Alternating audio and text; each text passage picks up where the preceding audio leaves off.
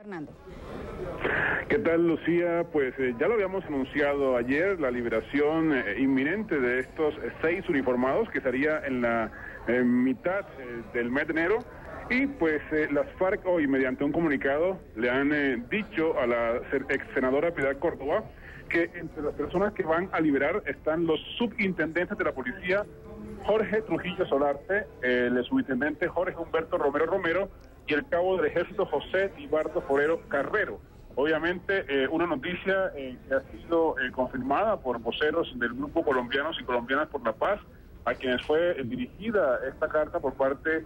de las FARC. Y pues entenderá usted, Lucía, la alegría y el júbilo que hay entre los familiares de estos tres uniformados que pues tienen la esperanza de que sus seres queridos vuelvan pronto a casa después de más de 13 años de cautiverio. Pues una noticia eh, que alegra este fin de año, eh, después de que se conoció eh, hace exactamente un mes la trágica noticia del asesinato de cuatro uniformados, tres policías y un militar que estaban en poder de ese mismo grupo guerrillero y que fueron asesinados eh, eh, por la espalda según el dictamen forense. Así que Lucía, eh, hay expectativa por lo que puede ocurrir, aún no se ha dado una fecha exacta de cuándo podría ocurrir esta liberación de forma unilateral por parte de las FARC, pero se estima que podría ser después de mitad del mes de enero de 2012, Lucía. Fernando, no se ha dado fecha, pero algún detalle sobre en qué lugar podría eh, producirse esta liberación? ¿Ha puesto el grupo guerrillero algún tipo de condición, alguna especificación este, a, la liberación de estos tres hombres?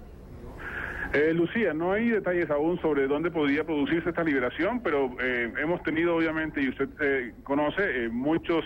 antecedentes de este tipo de liberaciones en los que hemos estado haciendo la cobertura y siempre se han producido en los departamentos del Caquetá, del Meta, siempre en el sur del país, en las selvas en donde están estas personas secuestradas, eh, y ellos en la carta pues han dicho que destacan la labor de la ex senadora Piedad Córdoba, así que muy probablemente ella hará parte de esta comitiva, tendrá que hacerse todo el despliegue eh, técnico y logístico para garantizar la seguridad de las personas que van a entregar y siempre se busca el apoyo de la Cruz Roja Internacional y de algún mm, país vecino. Eh, lo ha hecho en las últimas dos ocasiones Brasil, prestando eh, algunos helicópteros eh, para mantener la neutralidad dentro de esta gestión humanitaria y que permita la entrega sanos y salvos de estos colombianos, Lucía. Fernando, se hablaba en un principio de seis liberados, solamente se han dado a conocer tres nombres. En ese comunicado que entregaron las FARC a la senadora Piedad Córdoba, la ex senadora Pineda Córdoba, se menciona cuándo se podrían dar a conocer los otros nombres. No, no, Lucía, no se hace referencia a eso, simplemente dieron estos tres nombres y más adelante darán los otros tres de los otros tres eh, uniformados que van a ser eh, entregados. Eh, y pues obviamente que hay expectativa por conocer esos nombres, entenderá usted la angustia eh, que están viviendo eh, los familiares de las otras personas que están en poder de las FARC y pues esperando que sean ellos eh, quienes regresen pronto a la libertad. Hay que señalar que quedan 11 en total entre policías y militares en poder de las FARC y una persona que también habría muerto y que pues cuyo cuerpo no ha sido entregado a sus familiares. En, total son 12 personas secuestradas en, en cautiverio, Lucía, y pues los cientos de secuestrados civiles que aún están en poder de ese grupo guerrillero, Lucía.